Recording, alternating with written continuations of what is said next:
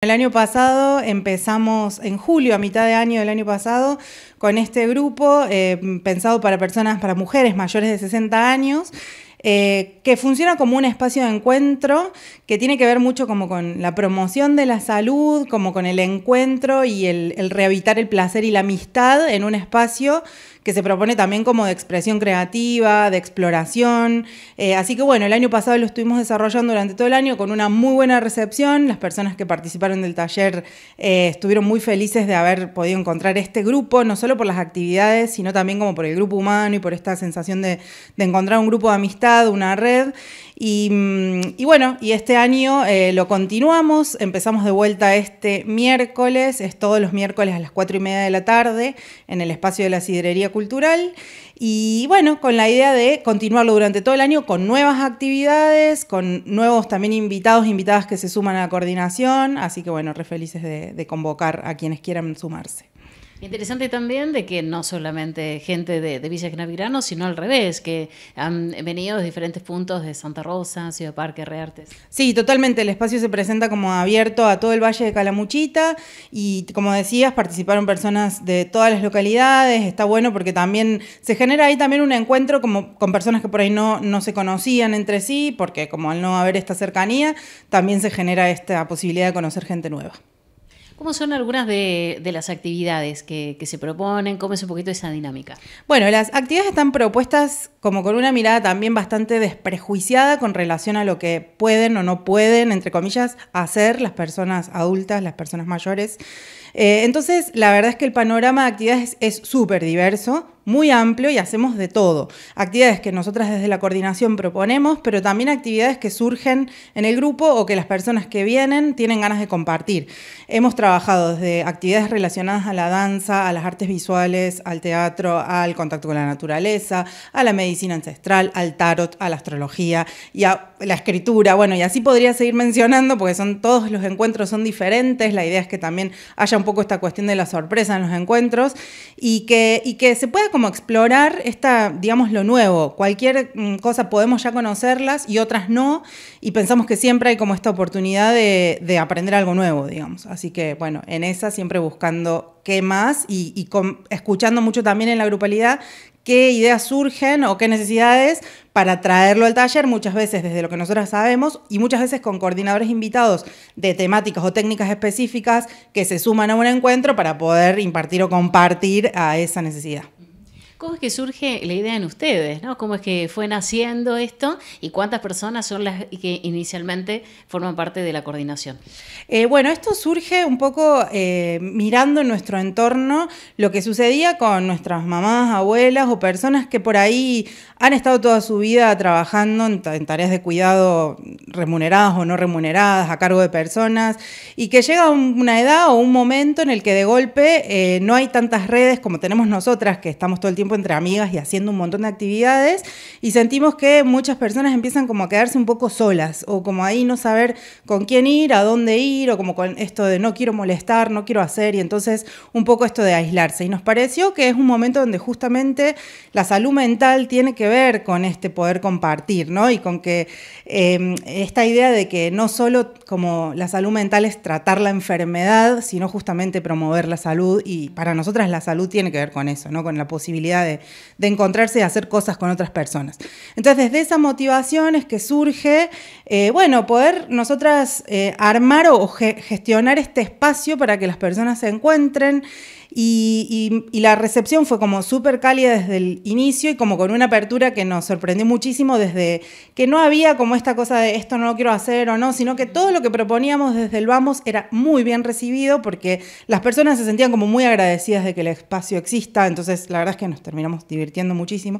Y también la realidad de, como de que nos sucedió a nosotras, de al escuchar a las personas que vienen, darnos cuenta también de que las personas que han transitado como gran parte de su vida tienen una sabiduría inmensa y siempre nos queda como esta sensación de estar todo el tiempo nosotras también aprendiendo de las personas que vienen. Así que bueno, nosotras somos de la agrupación Acuerpando, somos tres coordinadoras que estamos como fijas, también se suman eh, eh, profesionales de la medicina, eh, egresadas y docentes de la UNC, que que se suman como también a ayudarnos en esta planificación y coordinación. Una de las compañeras también es psicóloga y las otras dos compañeras venimos como más de las artes y el diseño. Entonces, eh, hacemos como un gran equipo ahí que conjuga todo lo necesario para que esto se dé como de una manera muy amena, que, a nosotros nos gusta también hacerlo, ¿no?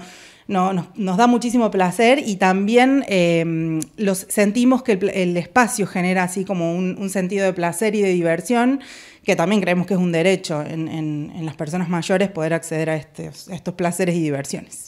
Bueno, y así un poco el resumen también de, lo que fue el año pasado, lo testimoniaron con un documental, si se quiere, y donde allí muchas resaltaban de que volví a ser niña, no volví a jugar, pero a su vez a partir de esa acción me reencontré también con, conmigo, ¿no? Algunas de, en síntesis, lo que quisieron decir también con un poco su experiencia. Exactamente, un poco, eh, nosotras también traemos estas actividades como lúdicas, juegos, digamos, eh, y, que también conectan, digamos, con esos lugares de la infancia, del juego, del entregarse a, la diversión porque sí, no como a salir de esta cosa de que todo tiene que ser productivo y todo tiene que ser por alguna razón, sino que también simplemente puede ser porque sí.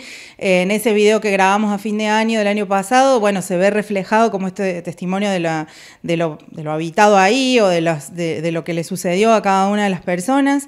En el video aparecen algunas de las personas que pasaron por el taller, pero también fueron transitando muchas personas más eh, el espacio está abierto a que las personas puedan venir, no necesariamente todo el año, pueden venir en una parte. Hay personas que cada 15 días tienen otra actividad, entonces vienen cada 15. Hay personas que, personas que se pueden sumar un tiempo y luego no. No hay una necesidad como de estar eh, full todo el año, sino que también al estar abierto y al cada encuentro proponer algo nuevo, también se puede venir de vez en cuando. Claro, y de esta manera cada una de las clases eh, se abona, que en realidad es también una mm, colaboración simbólica, ¿no? En este sentido, es por cada uno de los encuentros. Sí, se puede abonar por cada uno de los encuentros o se puede abonar eh, al mes y hay como una cuota muy chiquita, digamos, de, de 4 mil pesos al mes, o sea, de mil pesos por encuentro o un poco más si se puede también, que es como un aporte voluntario para básicamente cubrir gastos que se generan de materiales, de algún viático, de que pueda venir un coordinador y cosas que se van generando allí. Eh, y también la idea es que las personas puedan llegar eh, haciendo ahí un poco la red para, para llegar al lugar, ¿no? Porque hay personas que tienen su auto y pueden manejar y hay quienes no pueden manejar o quienes eh, no tienen movilidad, no tienen auto, no tiene quien las traiga. Entonces también ahí apelamos a que se solidaricen entre las personas que vienen al grupo, entre personas que traen a otras. Eh, y si no, también, bueno, hicimos como un llamado a la comunidad a aportar al taller, por más que sea una persona que no viene, pero que pueda aportar para garantizar la movilidad de muchas personas que por ahí no queda otra opción que un remis o digamos un transporte privado para que la persona pueda llegar al lugar, digamos. Entonces, apelamos a que si entre muchas personas juntamos el dinero, bueno, se puede sostener que alguien que quiera pueda venir todo el año al espacio. Vamos a reiterar entonces eh, tanto el lugar, el horario eh, y cómo es que se puede contactarse, un teléfono o específicamente las redes. Sí, eh, hay un teléfono que no lo tengo en mente ahora, es el de Dani, pero si se puede poner una plaquita acá, la ponemos con el teléfono de Dani.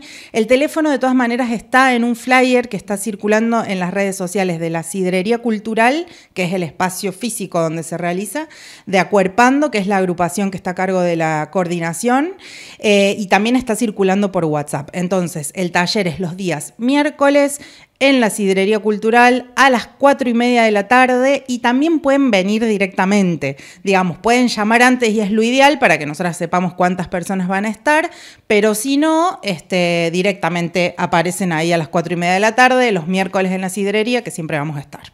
¿Esto es excluyente para mujeres y es más 60? Es mujeres y es más 60. Está pensado específicamente generando como un poco esta complicidad entre mujeres, un espacio como hecho por mujeres para otras mujeres también.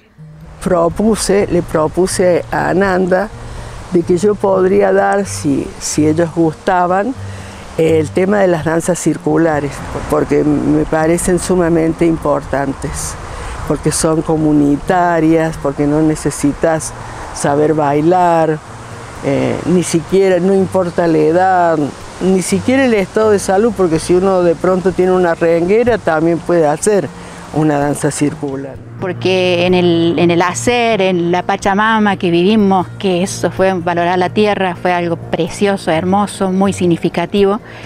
Eh, lo de la relajación, respiración, lo de la mirada, de mirar al otro, de ver en el otro, vernos en el otro, sentir cómo siente el otro, escuchar y tener esa, esa que teníamos todas, ese respeto por cada uno y el respeto que tenían ellas también, de escucharnos y, saber aceptarnos como somos.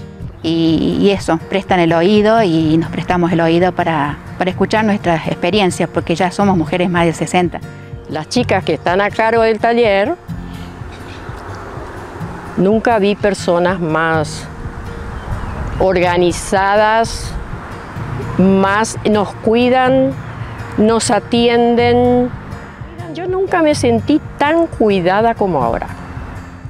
Hay eh, una energía de mucho compromiso puesta en eso, que la gente de nuestra edad necesita muchísimo de estos espacios. Escucharnos, escucharme a mí misma, eh, compartir, y, darnos, y darme cuenta que muchas de las cosas que me pasaban a mí les pasan a otros. Creo que realmente eh, la salud mental está en las rondas. Porque en un principio se pensó, bueno, esto es algo psicológico, puramente desde el punto de vista del término, pero bueno, no, está en el bienestar de cada uno, el cómo relacionarse con los demás, el en crear vínculos en el sentirse bien y eso creo que ellas lo trabajaron y nos hicieron trabajar y nos hicieron sentir y nos hicieron eh, compartir y hacer como hacer este, experiencias nuestras, hacerlas contar, contarlas, eh, sentir la escucha, porque se sentía la escucha del otro y a su vez ellas en la observación, en esa observación serena y tranquila, a, a mí me hizo muy bien.